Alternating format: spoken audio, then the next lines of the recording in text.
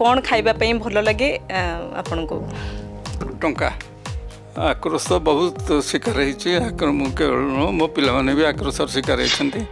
ନମସ୍କାର ଦର୍ଶକ ବନ୍ଧୁ। ରାଇଜିଂ ଓଡ଼ିଶାର ଦଶ ପ୍ରଶ୍ନ କାର୍ଯ୍ୟକ୍ରମକୁ ସ୍ୱାଗତ କରୁଛି ମୁଁ ଧରିତ୍ରୀ।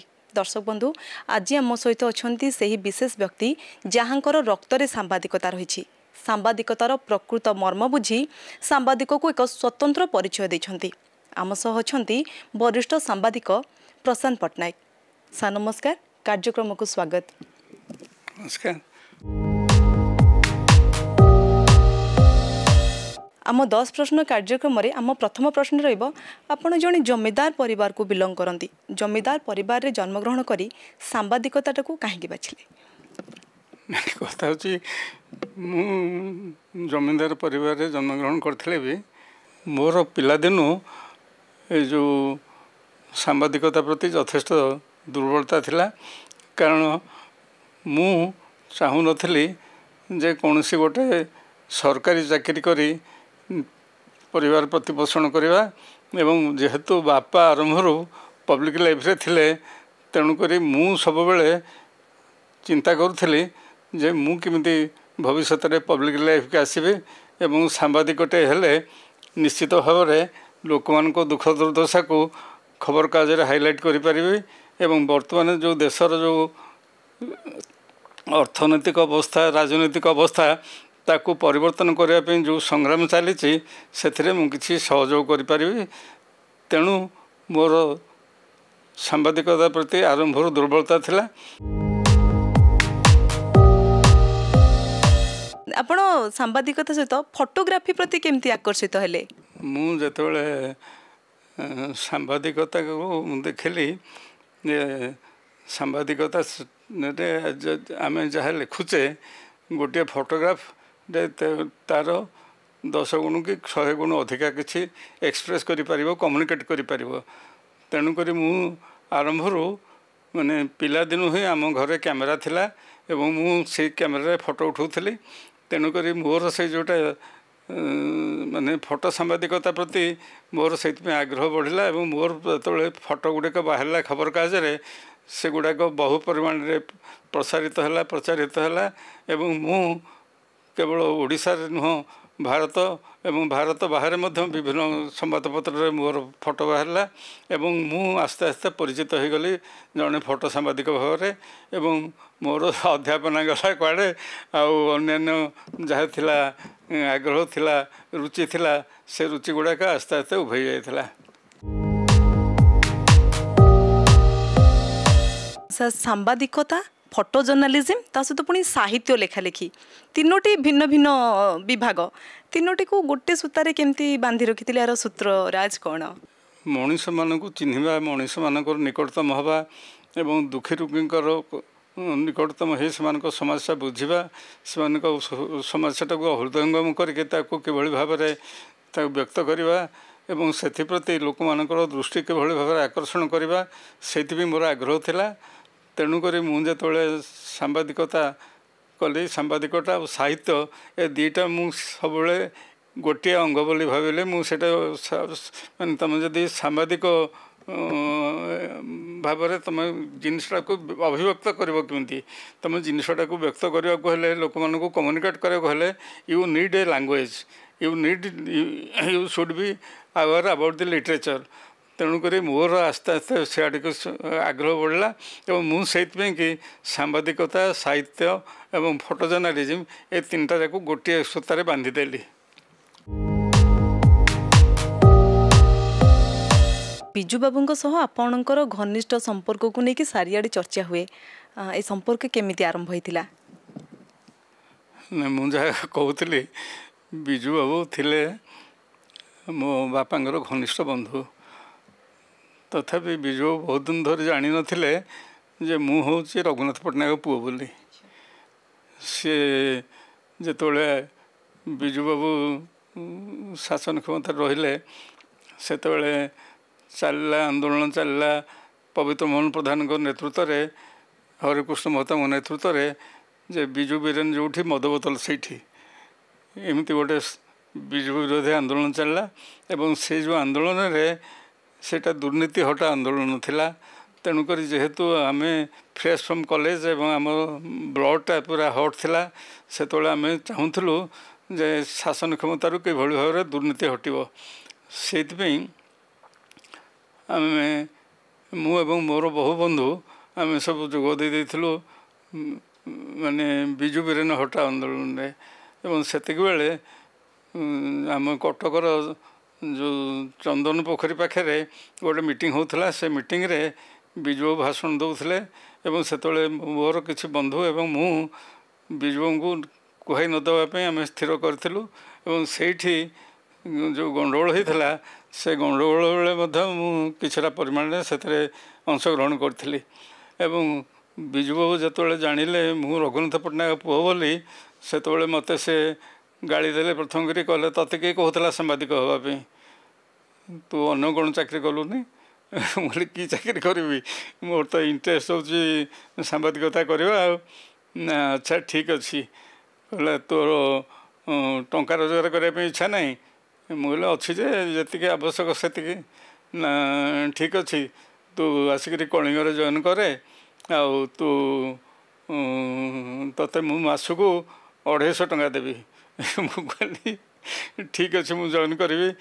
ନା ତ ଏଥିରୁ ତୋର କମିଟମେଣ୍ଟଟା ଜଣାପଡ଼ିବ ତୁ ପ୍ରକୃତରେ ସାମ୍ବାଦିକତା ପ୍ରତି ଆଗ୍ରହୀ କିମ୍ବା ତୁ ତୋର ଟଙ୍କା ରୋଜଗାର କରିବା ପାଇଁ ଆଗ୍ରହୀ?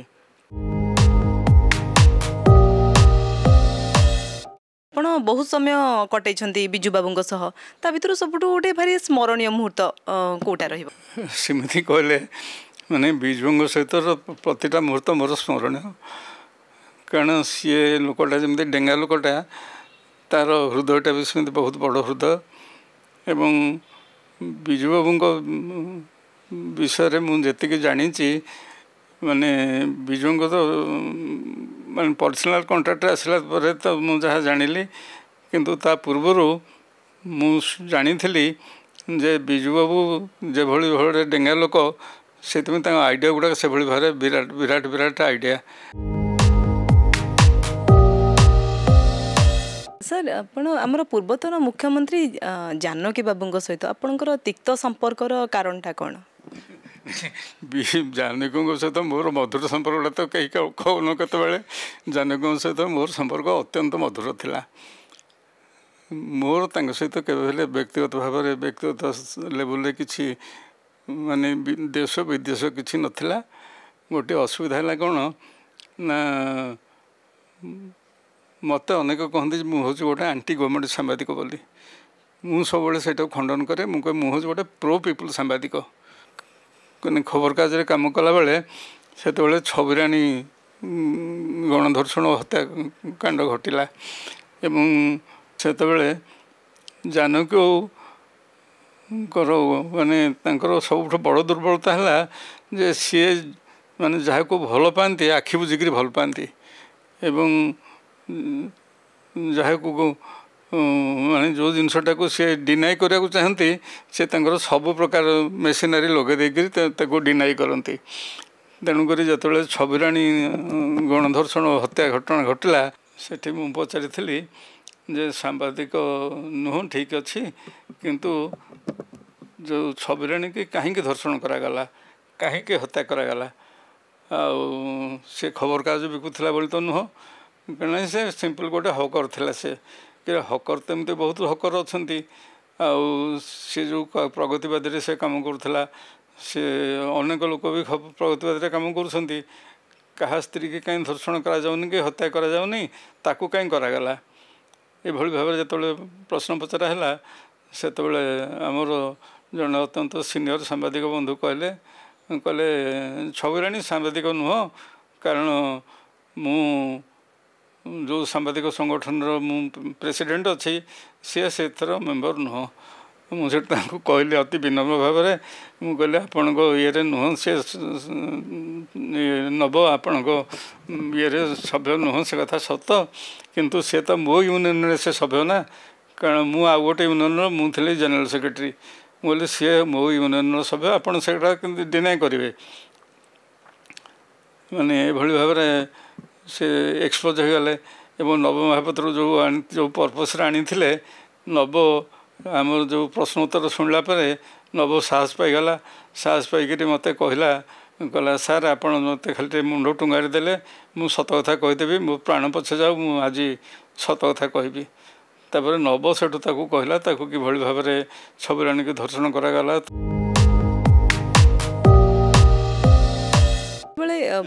ପ୍ରଶ୍ନ କରିକି ଯେତେବେଳେ ଅ, ସରକାରୀ କଳର ଆକ୍ରୋଶର ଶିକାର ହୁଅନ୍ତି ଅ, ତାର ମୁକାବିଲା କେମିତି କରନ୍ତି? ସାହସ ଶକ୍ତି କେଉଁଠୁ ମିଳେ?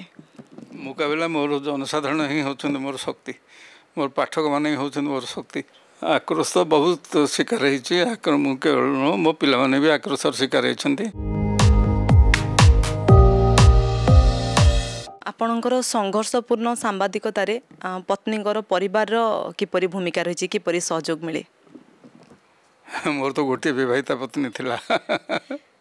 ଆଉ ସିଏ ଆରମ୍ଭରୁ ମାନେ ସେ ବହୁତ ଦରଦି ଦରଦି ସ୍ତ୍ରୀ ଲୋକଟିଏ ଥିଲା। ସିଏ ଆରମ୍ଭରୁ ଗରିବ ଏକ୍ସପ୍ଲୋଟେଡ଼ ଲୋକମାନଙ୍କ ପାଇଁ ସେ ସବୁବେଳେ ମାନେ ସମ୍ବେଦନା ଜଣାଏ ସବୁବେଳେ ତାଙ୍କୁ ସାହାଯ୍ୟ ସହଯୋଗ କରେ। ଏବଂ ମୋତେ ବାହା ହେଲା ପରେ ମୁଁ ଯେଉଁ ପଥରେ ଯାଉଥିଲି ସେ ଫିଲ୍ କଲା ଯେ ପ୍ରକୃତରେ ମୁଁ ଯେମିତି ଗୋଟେ ଲୋକ ଖୋଜୁଥିଲି ସେମିତି ଲୋକଟିଏ ପାଇଛି। ତେଣୁକରି ସିଏ ତା'ର ପୂର୍ଣ୍ଣ ପ୍ରାଣରେ ମୋର ସବୁ କାର୍ଯ୍ୟକଳାପକୁ ସେ ସହଯୋଗ କଲା ଏବଂ ଆଟ୍ ଦି ସେମ୍ ଟାଇମ୍ ମୁଁ ଯଦି କେତେବେଳେ କ'ଣ ବାଇଚାନ୍ସ କ'ଣ ମୋର ଲେଖାରେ କ'ଣ ଯଦି ଟିକେ ତ୍ରୁଟି ରହିଯାଉଥିଲା ସେ she was my best critic ସେ ସବୁବେଳେ ମୋତେ କହୁଥିଲା କହିଲା ଏଇଠି ତୁମେ ଠିକ୍ ଶବ୍ଦ ପ୍ର- ପ୍ରୟୋଗ କରୁନ। କାରଣ ତୁମେ ଯେଉଁ ଲାଙ୍ଗୁଏଜ୍ ଲେଖିଛ ସେ ଲାଙ୍ଗୁଏଜଟା ଏଠି ଖାପ ଖାଉନି। ତୁମେ ଏଠି ଏଇ ଲାଙ୍ଗୁଏଜଟା ୟୁଜ୍ କର। ଆପଣ ଜଣେ ସାମ୍ବାଦିକ ଭାବରେ କିଏ ଆପଣଙ୍କୁ ଅଧିକ ପ୍ରଭାବିତ କରିଛନ୍ତି? କାହା ଦ୍ୱାରା ବେଶୀ ପ୍ରଭାବିତ ହେଇଛନ୍ତି ଆପଣ? ମୋର ସାମ୍ବାଦିକ ଭାବରେ ଗୁରୁ ହେଉଛନ୍ତି ସୁରେନ୍ଦ୍ର ମହାନ୍ତି ଆଉ ବଙ୍କିମ ଚନ୍ଦ୍ର ଦାସ। କାରଣ ମୁଁ ବଙ୍କିମଙ୍କ ପାଖରେ କାମ କରିଛି ସୁରେନ୍ଦ୍ର ବାବୁଙ୍କ ପାଖରେ କାମ କରିଛି। ସୁରେନ୍ଦ୍ର ବାବୁ ତାଙ୍କର ସେ ସାହିତ୍ୟିକ ତ ଆଉ ସିଏ ତାଙ୍କର କ'ଣ କରନ୍ତି ନା ମୁଁ ଯେତେବେଳେ ଜଏନ୍ କଲି କଳିଙ୍ଗ ପ୍ରତିନିଧି ହେଇକରି ଭୁବନେଶ୍ୱରରେ ସେତେବେଳେ ସୁରେନ୍ଦ୍ର ବାବୁ ମୋତେ ଡାକି କହିଲେ କହିଲେ ଦେଖେ ପ୍ରଶାନ୍ତ ଆଉ ତୁ ଗୋଟେ କାମ କରିବୁ ଆଉ ତୁ ଯାହା ସତ ଭାଲି ଭାବିବୁ ଲେଖିବୁ। ଆଉ ତୁ ସମସ୍ତେ ଯେଉଁ ବାଟରେ ଚାଲିଛନ୍ତି ସେଇ ବାଟରେ ନ ଚାଲିକିରି ତୁ ଗୋଟେ ଅଦର ୱେରେ ତୁ ଚାଲେ। ମୁଁ କହିଲି ଠିକ୍ ଅଛି ସାର୍ ମୁଁ ଚାଲିବି କିଛି ଅସୁବିଧା ହେବନି। ନା ସେ- ସେଥିପାଇଁ ଯାହା ଅସୁବିଧାର ସମ୍ମୁଖୀନ କଲେ ବି ମୁଁ ଅଛି ତୋ ତୋ ସପୋର୍ଟରେ ମୁଁ ଲଢ଼ିବି। ଆମର ଶେଷ ପ୍ରଶ୍ନଟା ରହିବ ଆପଣ ଟିକେ ଖାଦ୍ୟ ଲୋଭୀ କ'ଣ ଖାଇବା ପାଇଁ ଭଲ ଲାଗେ? ଆପଣଙ୍କୁ? ଟଙ୍କା।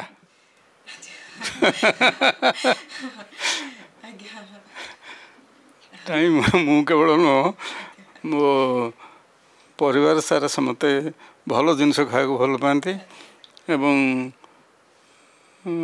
ବିଶେଷ କରି ଆମେମାନେ ଟିକେ ଆମିଷ ପ୍ରିୟ ଏବଂ ମୋ ଜେଜେବାପା ଥିଲେ ବହୁତ ଆଇଁଷ ଲୋଭୀ ମୋ ବାପା ବି ଆଇଁଷ ଖାଉଥିଲେ ଏବଂ ଆମେମାନେ ବି ଆଇଁଷ ଖାଉ।